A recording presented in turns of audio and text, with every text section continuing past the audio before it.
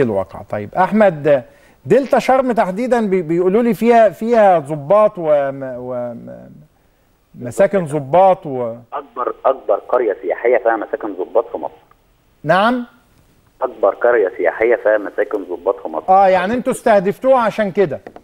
هم كانوا مستهدفين عشان كده ومدخلين اسم إبراهيم إن أنا أجيب لهم عناوينها وفي نفس الوقت في الوقت اللي المفروض إن أنا هقابلهم تاني يوم الصبح عشان ادي لهم العناوين والأوقات المعينة للدخول سبتهم وهربت هربت منها. إيه؟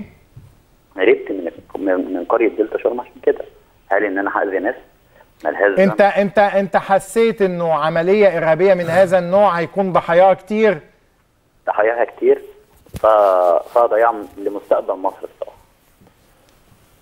فهربت وده ده اللي خل يعني ال ال ال يعني حتى حتى هذه اللحظات اللي بتتحدث فيها كانوا مستنيين إنك تديهم المعلومات عشان ينفذوا العملية بعدها من خلال جمع المعلومات اولا. واقول لحضرتك حاجة؟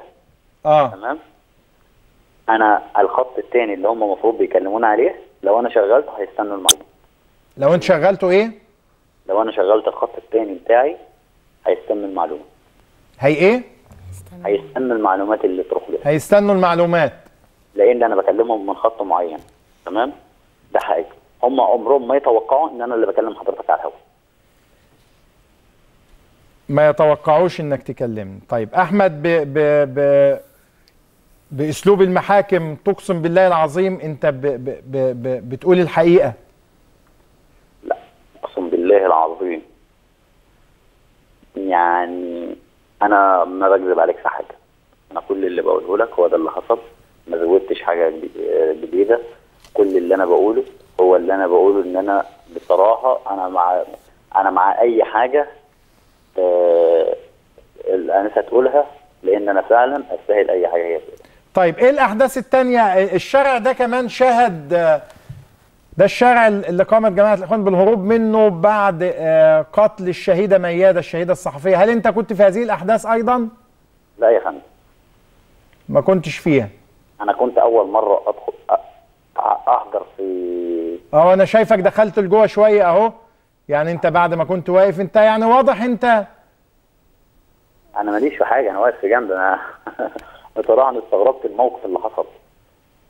أنا بعد ما كنت معاهم بقيت ضدهم ده حاجة أنا لحد دلوقتي لحد الوقت ما أنا متأكد منها.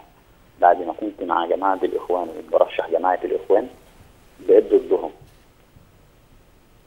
تقدر تقول لحضرتك؟ بص يا يا أحمد أول ما تكون ضد الإرهاب المسلح ثق. أنت الآن مع مع الوطن يعني. ما هو آه، الإرهاب في كفة والوطن في كفة. انحيازك للوطن ده هيحسب لك.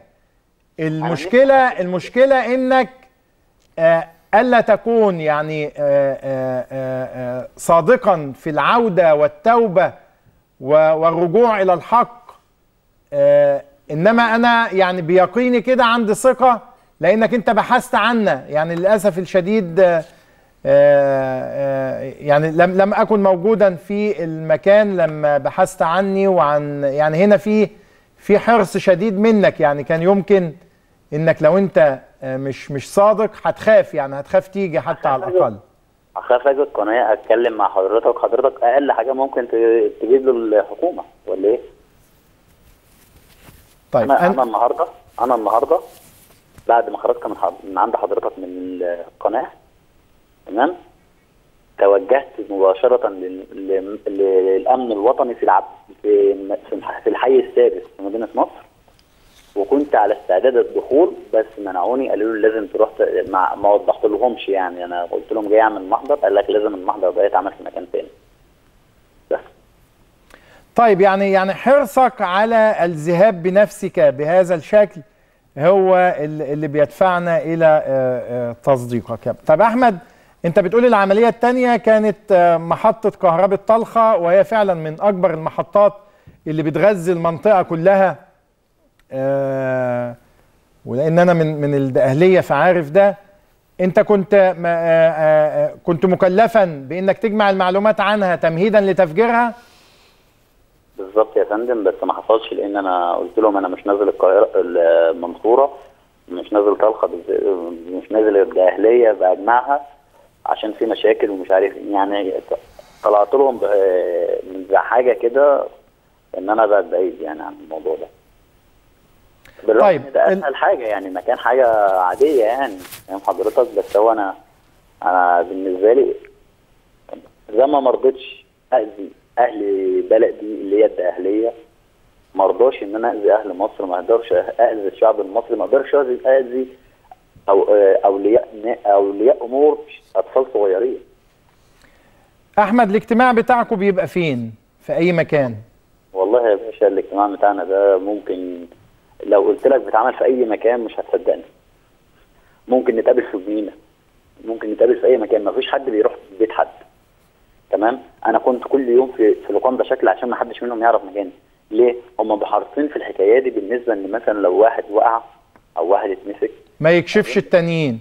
ما يكشفش ال بدليل إن أنت معلوماتك إن اللي لابس أسود ده محمد إبراهيم ومحمد إبراهيم ده اسم يمكن أن يكون اسما حركيا.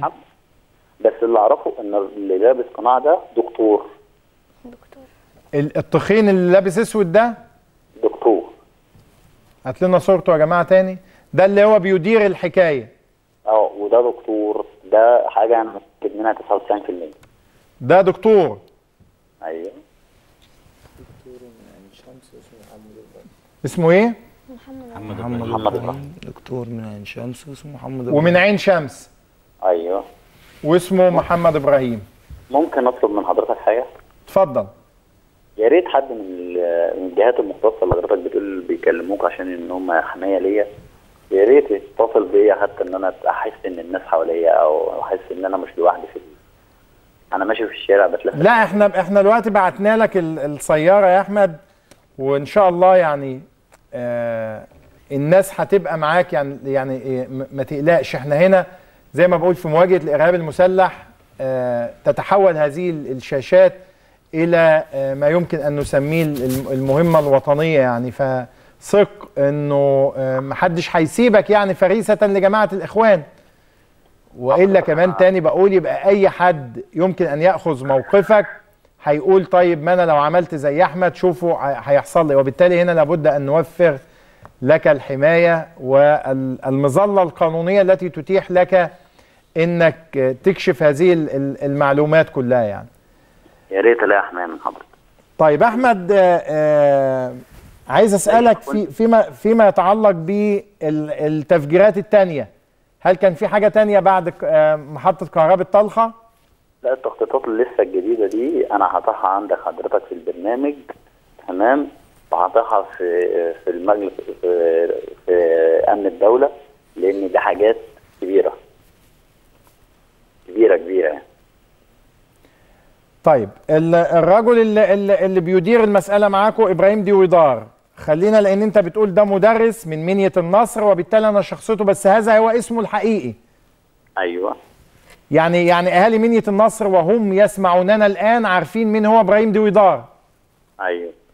والسلطات السعودية وهي تسمعنا الآن أيضا بالتأكيد آه، أما تبقى في عمليات إرهابية من هذا النوع فإبراهيم ديويدار يعيش في السعودية. حضرتك حضرتك ولا ولا بيستخدم تليفون سعودي؟ حضرتك ممكن أسألك سؤال؟ اتفضل. تاريخ آه، فض اعتصام رابعه بالظبط كان كام؟ 14 8 هو حضرتك سافر السعودية لا إما 15 8 لا إما 16 8 خمس يعني تا تاني تاني أو تالت يوم من فض الاعتصام يعني.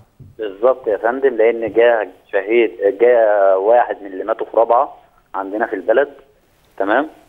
وحصل مسيرة في البلد ففي شاب واقف كان بيحتفل بفرح ابن عمه تمام؟ فالأستاذ إبراهيم واقف آه، الشاب ده معاه سلاح بيضرب نار في الجو فرح زي ما حضرتك عارف الألياف تمام؟ قال لك آه، ده بتهجم على المسيرة بسلاح وقاموا جايبينه وحلال الله أكبر وقعدوا يضربوا فيه. والاستاذ إبراهيم ده واحد من الناس اللي اللي الاحبال الصوتية بتاع الشاب ده طلعت في ايده